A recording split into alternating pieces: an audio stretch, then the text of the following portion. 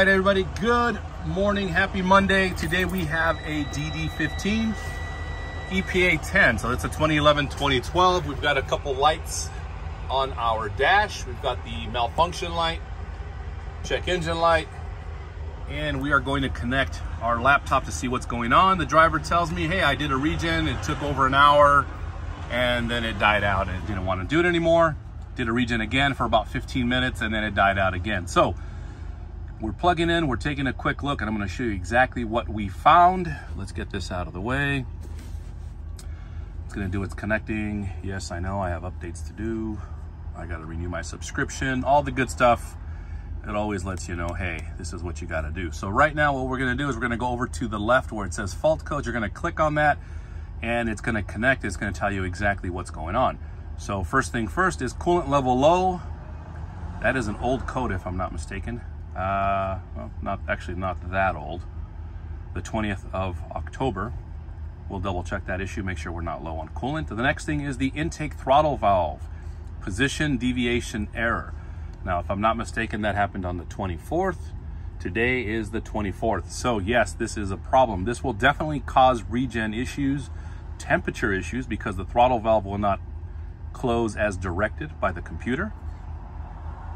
The next thing we have is the soot level high. Right now, if I'm not mistaken, we are at zone four, and we're gonna confirm that right there where it says, oops, sorry about that, guys, where it says zone number four. So what we need to do right now is take the intake throttle valve out. I'm gonna show you that right here.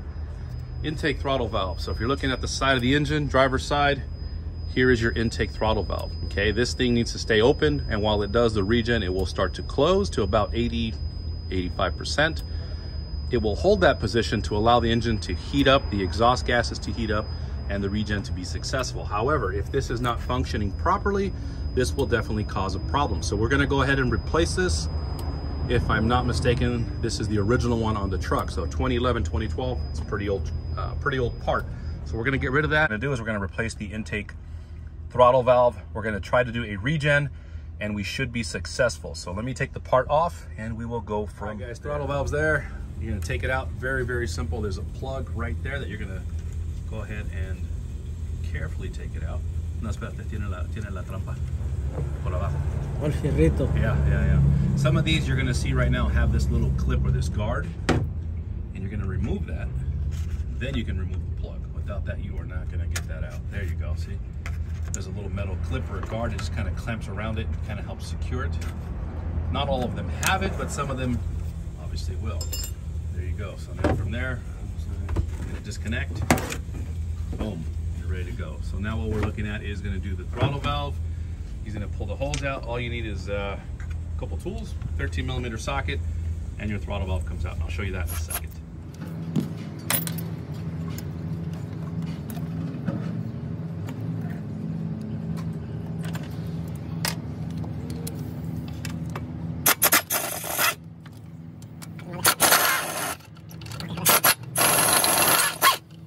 All right guys, pretty simple. Four bolts, hold it all into place. I left the top one on just so it doesn't kind of fall. There you go. That kind of just helps hold it into place so it won't go anywhere, it won't fall on you. Again, this has this little bracket. So put everything back the way you found it. And that's pretty much it. There's your throttle valve. So you're gonna remove that, go get a new one. I'll show you the part number of the new one in a second.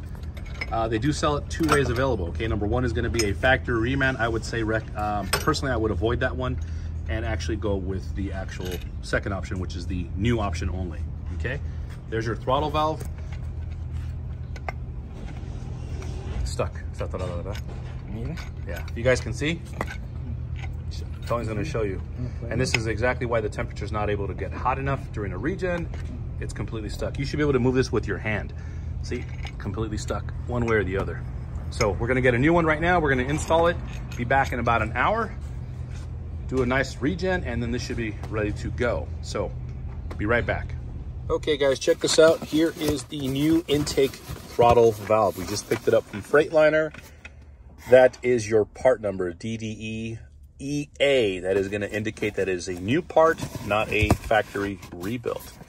So let me quickly show you guys this out of the way. let me quickly show you guys the throttle valve so you can see what it looks like. It, it does come with some uh, gaskets, shims, whatever the heck you want to call them. Give me a second here. I'm going to take this out. Uh, let's see here. There we go. So it does come with these little gaskets and shims. You can use the old ones. I recommend. Might as well install the new ones. They're not that hard to install. That's the first thing you're going to look at. The next thing here is your brand new intake throttle valve. Now you're gonna notice like the old one was stuck. This one, look at that, easy. So when you cycle your ignition and you hear the sweeping, that's typically what this is on the motor side. So that was stuck and that would definitely explain why we're not able to do a regen. Temperatures will not rise no matter what you do. Some guys I've heard try to get a screwdriver and kind of pry it open and pop it open. That may work. Um, but in this case, we're going to replace it. We don't want to deal with any headaches. So let's get this installed and we will go from there. Uh, earlier, I looked at this part number. It said RMA, blah, blah, blah, blah, blah. So anyway, that might be just a casting number. Again, that may not indicate whether it's new or used. This part number, however, will tell us whether it's new or reman. I'm sorry, I meant to, I didn't mean to say used. I meant to say new or reman. So this is a new factory part, not a new reman part. So let's get it installed. Let's do uh, let's launch our computers and see what's going on, and we'll go hey from guys, there. And one thing we're gonna do really quick, just before we start the engine, we have the new part installed, and the next thing we're gonna do, and I know you can't really see it here, is we're gonna go ahead and take this out, okay, which is gonna be this little bad boy here. That's your diesel doser injector, or some guys call it the seventh injector. We're gonna take that out. We're gonna clean it up just in case there's any carbon buildup put it all back in, start up the truck, and then do a Here we have our new intake throttle valve installed. Tony went ahead and installed that for us. Uh, I uh, didn't really show the process. Honestly, it's, it's just kind of the reverse process of putting it all together. There's no magic to it. There's nothing super special. Just make sure you put it back the way you removed it. So we have the new throttle valve in. We've got our plug set up. We've got all, all of our, our CAC hose put in, got our bracket in, blah, blah, blah, all that good stuff. So now what we're gonna do is clean up the seventh injector. Once we're done, we're gonna go ahead, plug back in. We're gonna go ahead and connect here as usual, do a parked regen. Should take about 30 to 40 minutes max, depending on whatever we find, and hopefully that'll be it. So let's get the computer ready and let's get this. All right, guys, we are back. So we are gonna go ahead and start doing a parked regen. We have the new throttle valve. I showed you guys that.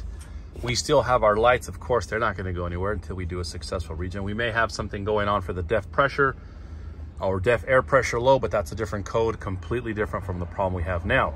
So check engine light, malfunction light, and then over there you have the little indicator telling you, hey, do a regen to clear this code. So now with the throttle valve being replaced, we're gonna launch our software. Uh, let's see here. We're launching eventually.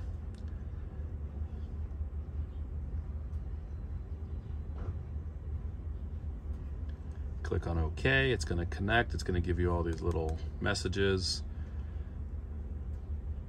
It's going to communicate with the CPC, MCM, ACM, all the good stuff that we need to know, to see. Let's see what it says now. It should still have the same codes again. It's not gonna go anywhere, but we are gonna go ahead and do a regen. So that being said, we're gonna clear this little notice out. We're gonna go here to where it says service routines. We're gonna go to where it says DPF, which it's already gonna be on DPF. And then the last thing we're gonna do is start the engine and then hit the uh, regen. So give me a second, let's start the engine and go from there. Okay guys, take a look. Here are the codes still active, but this one is going to tell us that this is not letting the temperature get up to here, which is why it's going to generate this code as well. So again, right now we're going to do the regen. If it's a little loud, I apologize, but I just want to quickly kind of go over some things. This is good. Right now the regen has not started. It's waiting for it to warm up. Once it warms up, these will activate, temperatures will go up, and you're ready to go from there. Okay guys, so right about five minutes into it, the regen is now gonna start warming up.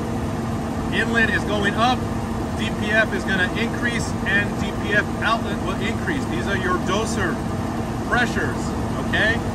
You can see right there it says active regen, which means we have now started the regen process. Start your timer again, 30, 40 minutes max. Let's find out. We'll be back.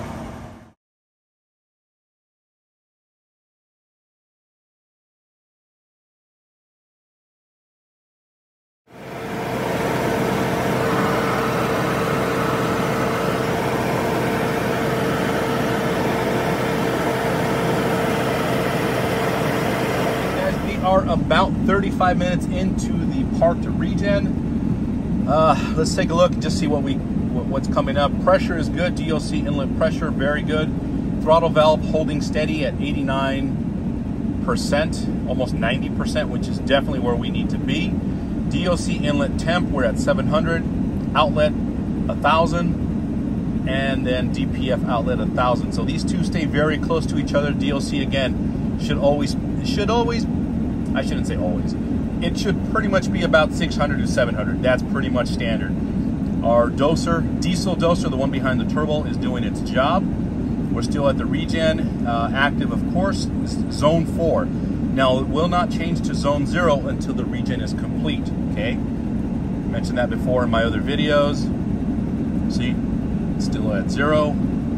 Uh, let's take a look really quick. Oil pressure is at 44, almost 45, but that really doesn't matter. I just like to look at it. Um, let's take a look here.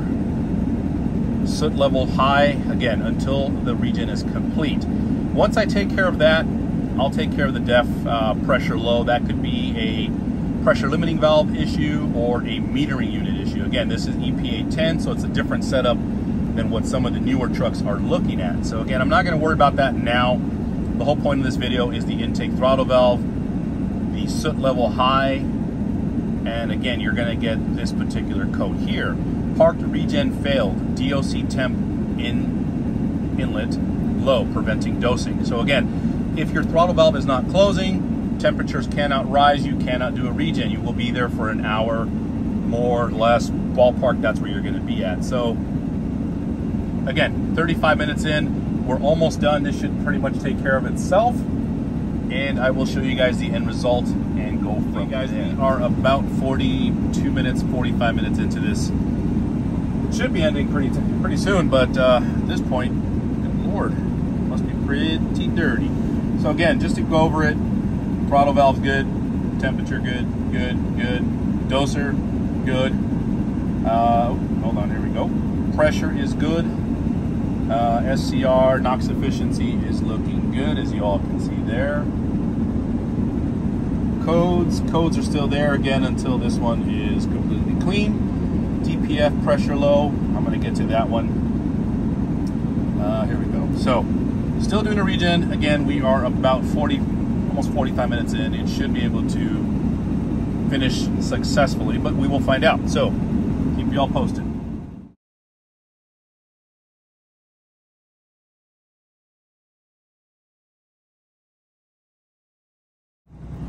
Right, guys, 45 minutes into it, and the regen is done. You can see the temperatures will start to drop almost right away.